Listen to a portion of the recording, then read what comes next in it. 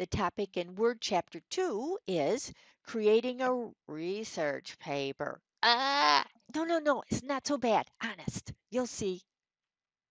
And looking here at this chapter of the book, again, you have to find it in whichever kind of book you have. Notice that we have the section headings, but this time we don't have those several pages, introductory pages at the beginning to tell you about the software because we already learned that. Going to the next page, past the objectives, which again, if you skim those, that's what's going to be in your grading rubric. So you should be sure to know you know how to do all of those things. Let's go down and look at the paper. Now this one, again, you're going to copy it. You don't write your own for this. You just copy it out of the book. Notice that it is three pages long. There's one whole page, half of which is taken up of, with headings and formatting. And then a page two, which isn't very long. So this isn't so bad after all, is what you might think. And then a third page, it's on a separate page, and this has the work cited.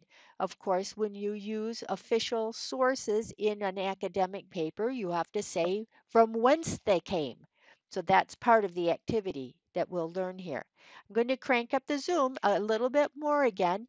And what you'll learn in this chapter is about how to make a header, header, not a heading, a header. This is the heading.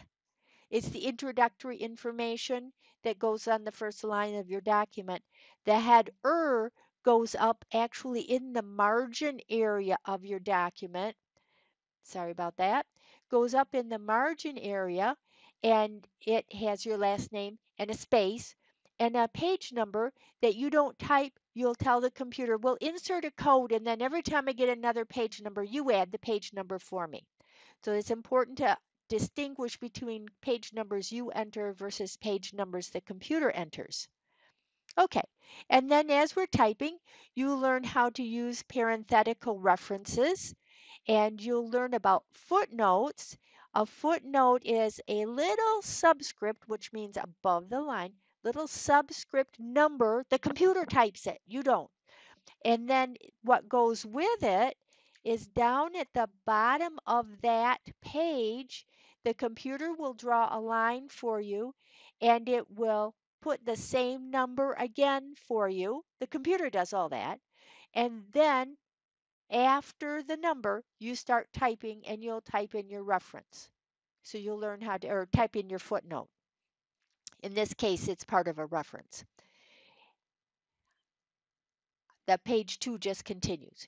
You'll learn how to make a hard page break, which is control enter. And a hard page break skips you to the next page and the reason why you don't want to go enter, enter, enter, enter, enter is so that later, if you come and make a modification, you don't want all of the pages after that to start on the wrong part of the page. It'll start down the page farther. it looks like I keep clicking something and ending up with larger pictures, don't I? So the work cited in your English class, you'll learn the rules, you'll memorize the rules and learn how to type them by hand. But what we'll do here is we'll use this little form and you type the information in the form and then the computer does it for you. And it also correlates between the references in your paper and the works cited page so that it adds the information automatically. It's really kind of neat. You'll learn how to do that. Many students say they hadn't learned that before. So that's what you'll do for that, again, the textbook assignment, and then your teacher will give you additional exercises beyond that.